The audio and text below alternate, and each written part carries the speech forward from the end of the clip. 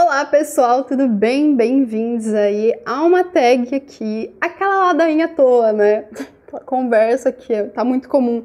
Ah, eu não, né, tô enjoada de tantas tags, acho as tags repetitivas e de fato elas o são, mas nem todas. E aí que eu tava assistindo aos vídeos recentes da minha timeline aqui no YouTube, dos canais que eu sigo, e eu vi um vídeo lá do Nina e Suas Letras, é um canal que eu adoro, já sigo há um bom tempo, super recomendo. Para vocês vou deixar esse vídeo, link para ele aqui no card e no box de descrição, tudo linkadinho, tudo, né, na descrição.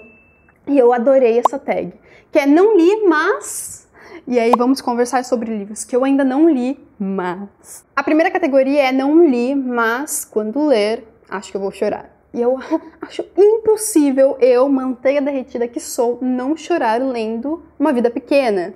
Esse livro eu não tenho aqui na minha estante fisicamente, te, tá na o livro físico, eu tenho ele físico, mas ficou lá na casa da minha mãe, em São Paulo.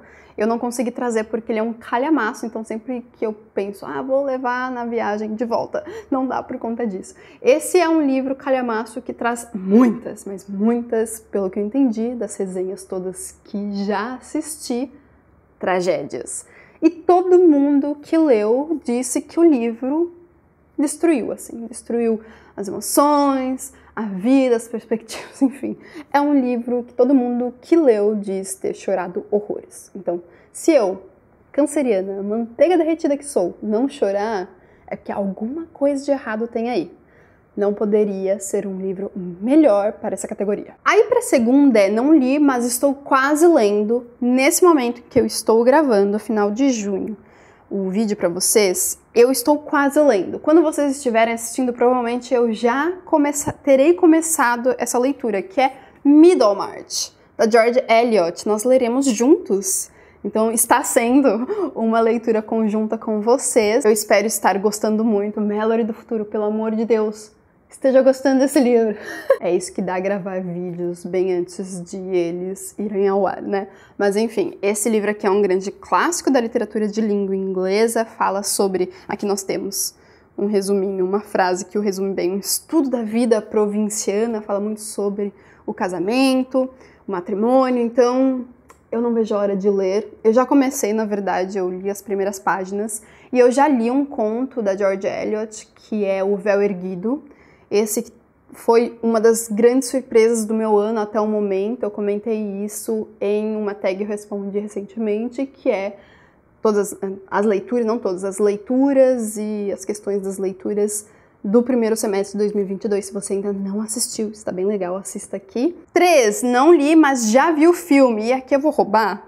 Eu vou colocar, vou mostrar para vocês, ó, um livro que eu já vi o filme, mas ainda não li, seguindo certinho a tag que é Não Me Abandone Jamais, do Ishiguro. Quem assistiu a esse vídeo do balanço das leituras do primeiro semestre de 2022 vai lembrar que eu já comentei sobre esse escritor, eu mencionei ele porque eu li no primeiro semestre desse ano o, Os Vestígios do Dia.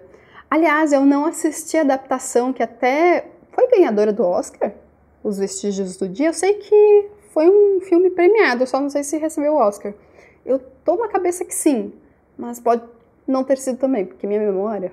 Enfim, é um novo autor aí para minha listinha, eu não tinha lido esse ganhador do Nobel de literatura. Então, esse daqui dizem que é muito bom também, assim como os outros tantos desse escritor, bastante diferentes entre si. É o que me contaram leitores do Ishiguro, que já leram os livros dele, me contaram que seus livros são bem diferentes entre si. Mas eu já assisti a adaptação ao filme e muito triste, mas muito belo. Então eu acho que aqui isso vai acontecer com esse livro também. Espero gostar dele também.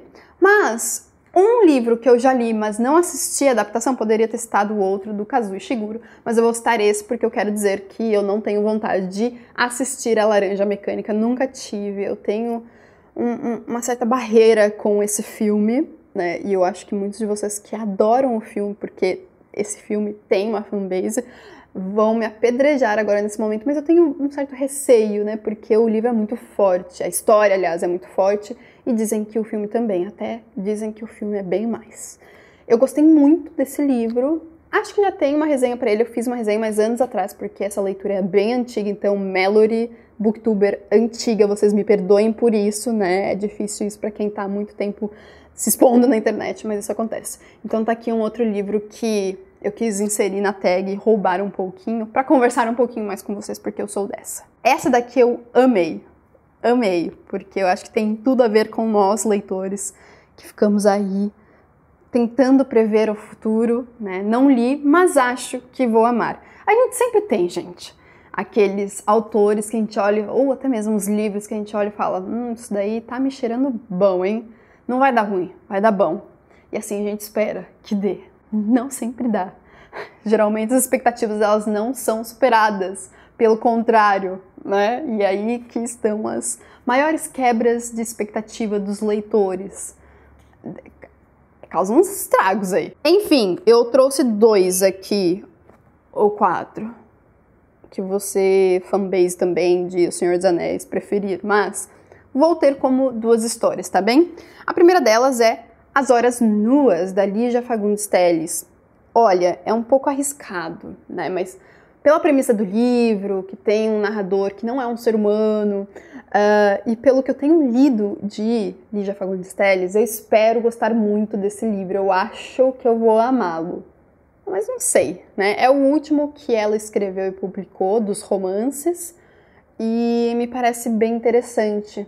Né? Eu não vou dizer quem é o narrador, um dos narradores, eu acho que é um dos narradores, não li, né? Mas eu sei que tem um narrador aqui que é bem interessante, assim, não vou dizer qual é, porque, sei lá, eu acho que não é spoiler. Ah, ó, alternando diferentes vozes e pontos de vista. Não, mas eu. Ah, diz aqui sim. O gato Raul, lúcida, testemunha, narra de seu posto de observação privilegiado a decadência de sua dona ao mesmo tempo em que procura reconstituir suas próprias encarnações humanas passadas. Ai, eu quero muito esse livro. Sério. Dos romances da Lígia, é o que eu ainda não li. Então, eu vou ler esse ano, hein? Vou ler. E também um outro livro que, uma outra história que eu quero muito ler, assim, que eu ainda não li, mas que eu acho que eu vou amar, é O Senhor dos Anéis. E aqui eu trouxe a minha coleçãozinha linda, maravilhosa. Eu acho que é das mais bonitas que nós temos publicadas aqui no Brasil. Acho que é a mais bonita. Ah, então eu acho que é um super clássico, né, gente? Eu já li o Hobbit, eu amei. Então, né, não que uma coisa significa outra, mas eu espero. Sério, eu acho que é mais um desejo de que isso role, né? De que eu goste mesmo do que outra coisa. Não li, mas já comprei. E aí eu fiquei pensando, se eu não comprei, como que eu teria lido mais livros de biblioteca, né? E eu já fui muito leitora de livros de biblioteca. Mas eu decidi colocar um livro super lançamento, né? Contrariando um pouco essa minha lógica ao ler e interpretar essas categorias. Eu quis colocar esse livro porque eu sei pouco dele. Ele é um super lançamento que é o Sobrevidas do ganhador do, do Nobel de Literatura do ano passado, o Abdul Razak Gurnah. Ainda vou aprender certinho a pronúncia de, né, do nome, mas é basicamente porque foi o Nobel de Literatura do ano passado, assim e porque todo mundo que já leu o original me disse ter amado também. Então, é uma indicação por conta do prêmio, mas também das pessoas que já leram e que eu sei que tem gostos literários muito parecidos com o meu. Então, tá aqui, ainda não li. Se você já leu, me conta aí. E por fim, não li, mas todo mundo me recomenda. Todo mundo recomenda, todo mundo me recomenda, que é Patinco, Patinco, não sei pronunciar, acho que é Patinco, né? É, da Min Jin Lee. Não vejo a hora de ler um calhamaço, por isso que ele ainda não foi lido, mas eu não vejo a hora de ler. Eu acho que, lendo um pouquinho a premissa do livro, tem muito a minha cara, mas todo mundo que leu gostou. Uma das minhas maiores amigas, assim, da é, graduação, da faculdade, amou. Então, gente, é só correr pro abraço, né? Me diga aí se você já leu esse livro. Eu quero muito também ler por conta da adaptação, sai uma série para esse livro. Então, será lido também. Ainda não li, mas eu quero muito ler, porque todo mundo me recomenda. E esses foram os livros. É uma tag até que rapidinha, né? Mas eu gostei, achei bem interessante, sim, bem diferente do que eu já respondi para vocês em forma de tag.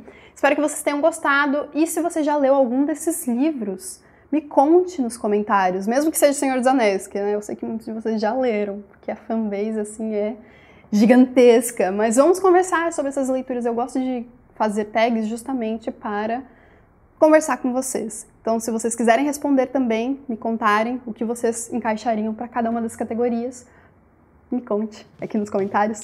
Muito obrigada aos madrinhos que são os apoiadores do Literaturice lá pelo Catarse.